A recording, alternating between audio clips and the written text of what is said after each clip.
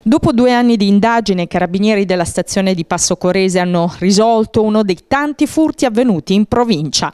Nel marzo 2013 una giovane di Rete aveva denunciato il furto del proprio telefonino. Le indagini si erano subito concentrate sulle amicizie dei suoi coetanei.